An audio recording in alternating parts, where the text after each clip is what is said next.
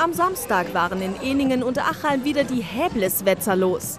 Beim traditionellen und jetzt schon zehnten Nachtumzug machten sie gemeinsam mit rund 40 weiteren Narrenzünften die Straßen unsicher. In diesem Jahr startete der Umzug zum allerersten Mal an einem Samstag und begann nicht mitten in der Nacht, sondern am späten Nachmittag bei einbrechender Dunkelheit. Unverändert blieb allerdings die Freude der Narren, allerlei Schabernack mit den Besuchern zu treiben. Zum 37. Ringtreffen des Narrenfreundschaftsrings Zollernalb am Sonntag in Biesingen zogen rund 4000 Häs- und Maskenträger durch die Straßen.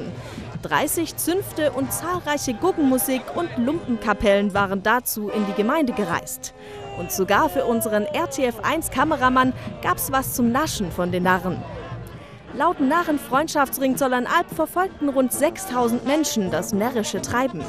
Der Umzug bildete unter anderem auch den Höhepunkt der dreitägigen Jubiläumsfeierlichkeiten der Biesinger Hexenzunft, die jetzt ihr 60. Bestehen feierte.